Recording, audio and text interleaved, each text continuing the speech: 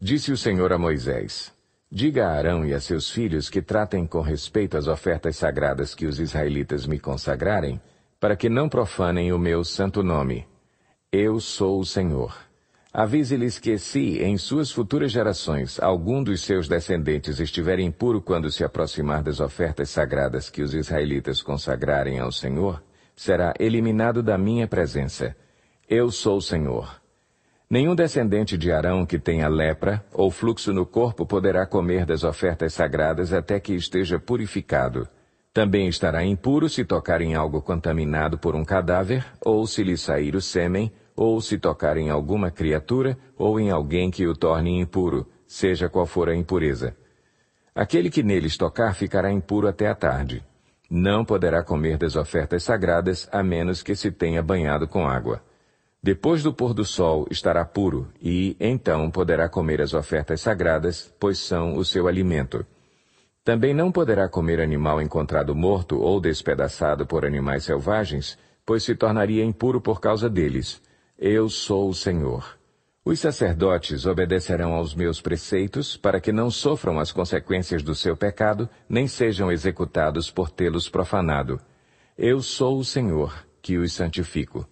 Somente o sacerdote e a sua família poderão comer da oferta sagrada. Não poderá comê-la o seu hóspede, nem o seu empregado. Mas se um sacerdote comprar um escravo, ou se um escravo nascer em sua casa, esse escravo poderá comer do seu alimento. Se a filha de um sacerdote se casar com alguém que não seja sacerdote, não poderá comer das ofertas sagradas. Mas se a filha de um sacerdote ficar viúva ou se divorciar, e não tiver filhos, e voltar a viver na casa do pai como na sua juventude, poderá comer do alimento do pai, mas dele não poderá comer ninguém que não seja da família do sacerdote. Se alguém, sem intenção, comer uma oferta sagrada, fará restituição da oferta ao sacerdote e lhe acrescentará um quinto do seu valor. Os sacerdotes não profanarão as ofertas sagradas que os israelitas apresentam ao Senhor, permitindo-lhes comê-las e trazendo assim sobre eles culpa que exige reparação. Eu sou o Senhor que os santifico. Disse o Senhor a Moisés, Diga o seguinte a Arão e a seus filhos e a todos os israelitas. Se algum de vocês, seja israelita, seja estrangeiro residente em Israel, apresentar uma oferta como holocausto ao Senhor, quer para cumprir voto, quer como oferta voluntária, apresentará um macho sem defeito do rebanho, isto é, um boi, um carneiro ou um bode, a fim de que seja aceito em seu favor. Não tragam nenhum animal defeituoso, porque não será aceito em favor de vocês.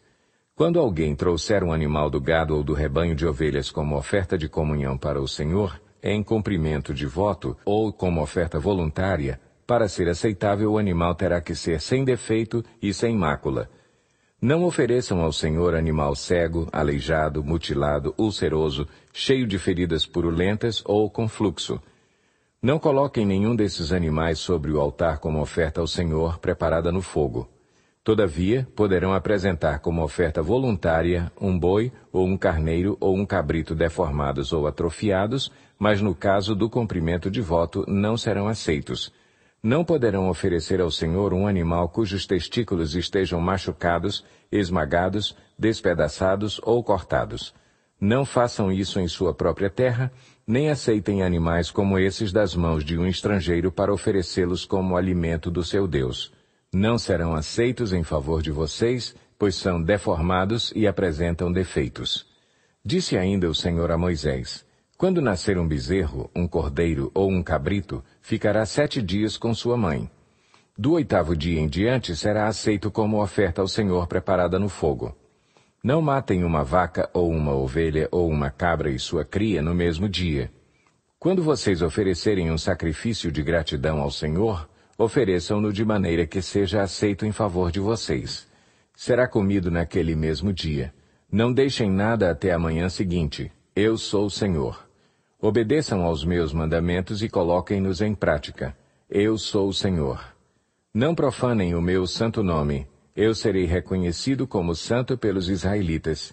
Eu sou o Senhor. Eu os santifico. Eu os tirei do Egito para ser o Deus de vocês. Eu sou o Senhor.